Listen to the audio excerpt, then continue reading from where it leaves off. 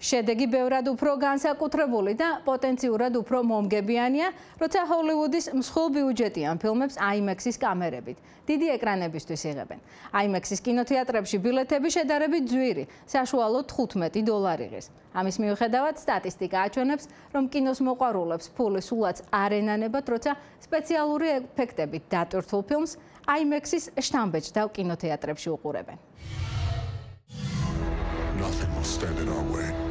არც საიდუმლო და არც გასაკვირია, რომ ვარსკვლავური ომების მორიგმა სერიამ ყველანაირი რეკორდი მოხსნა და მსოფლიოს მასშტაბით გამართული პრემიერის შედეგად 529 მილიონი ამერიკული დოლარის ღირებულების ბილეთი გაიყიდა.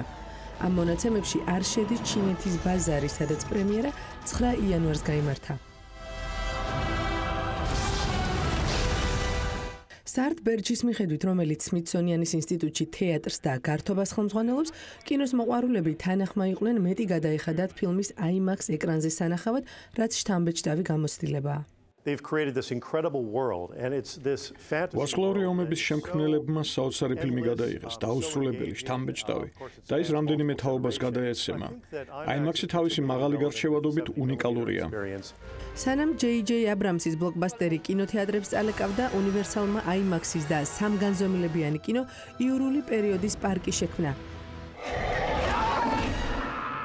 ფილმის ჩვენების პირველივე უქმეებზე 525 მილიონი დოლარის ღირებულების ბილეთი გაიყიდა.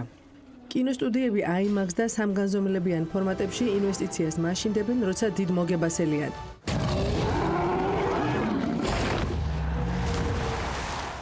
უდაო წარმატების მაგალითია შურის მაძიებლები. მაყურებელი მძაფრ სიუჟეტიანი ფილმებისთვის უპირატესობას დიდ ეკრანს ანიჭებს.